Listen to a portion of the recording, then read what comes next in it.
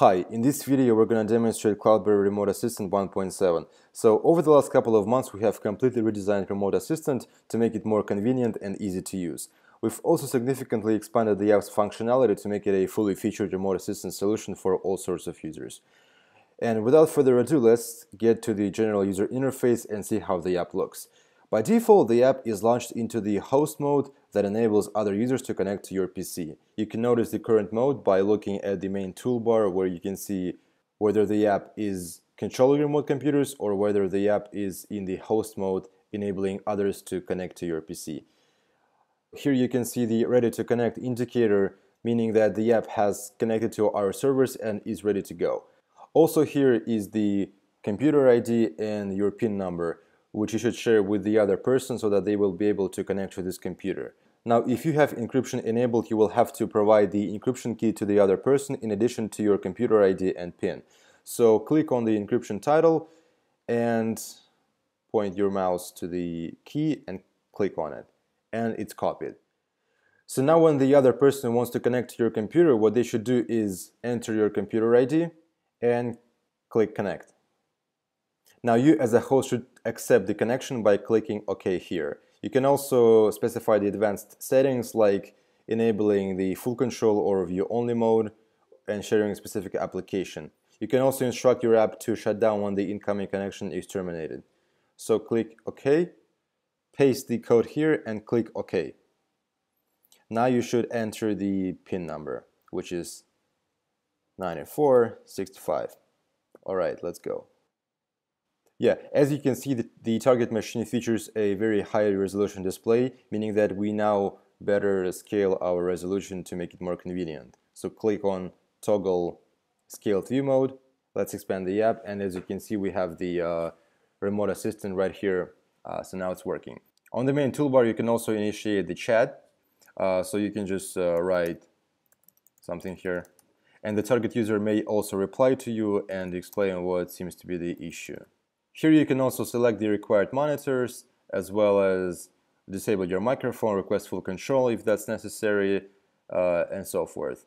Uh, now, request full control is um, a very powerful feature, but it's uh, disabled by default, so you can request full control. CloudBerry Remote Assistant on the target computer will prompt the user to enable you to do that. So if they click yes, you can go ahead and control their computer click wherever you want and just uh, control the computer like you would usually do. Now, as you've noticed, authentication via PIN codes is not very convenient if you want to connect to your computer frequently and you don't want to bother with remembering PIN codes and stuff like that. So for this purpose, we have implemented the so-called unattended access, which enables you to authenticate on the target computer using your Windows credentials as opposed to the PIN code number that we have mentioned earlier. So in order to use unattended access, you should enable it in the settings. You go to settings to security and select the allow unattended access checkbox and click OK. And later on, when you attempt to connect to that computer again and click connect, you will be prompted to enter your PC's password as opposed to using PIN. So you enter the password and click OK. Now, when you try to connect to the computer using the unattended access, you will still have to enter your encryption key because when using this feature, encryption is mandatory, so you cannot use the unattended access without encryption. But Remote Assistant is pretty smart, so when you enter your encryption key once, it remembers it, and the next time you will only have to enter your Windows credentials. So just a couple of weeks ago, we have introduced CloudBerry Remote Assistant 1.7 and the highlight of this release is unquestionably the long-awaited file transfer. Many of our customers have requested this feature for a while and now it's finally here. So starting from release 1.7, uh, Remote Assistant features bidirectional file transfer, meaning that you can initiate file transfer from both target and the source computer uh, and obviously the files can go both ways. That way the app provides you with more powerful interaction between the host and the target computer. File transfer is primarily aimed at transferring documents, pictures, and installation packages, and we do not recommend you use it for transferring sizable media files.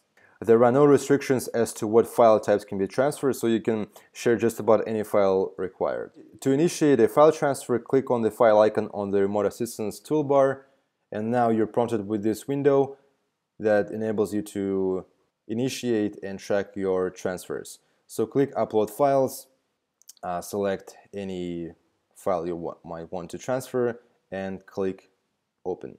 The transfer will start and will shortly be complete. All files are by default saved to the downloads folder so you can just click open downloads and here you can see the file that has just been saved. It's pretty easy to use, you just click one button, select the file and click OK and you're done. Uh, naturally, you can uh, upload multiple files at once of different sorts, so you can select uh, folders, archives, texts, pictures, it doesn't make any difference. All files will be uploaded to the target computer one by one, and when you're done, you can again go to the target computer, open the downloads folder, and all of these files will be right there for you to use. All file transfers are tracked in the journal tab, so you can see when the connection started, which files were sent, and when the, when the transfer was finished. Alright, so this has been a quick look at CloudBerry Remote Assistant 1.7. If you have any questions, you can leave them in the comment section below. Thank you for watching and I will see you again in the next video.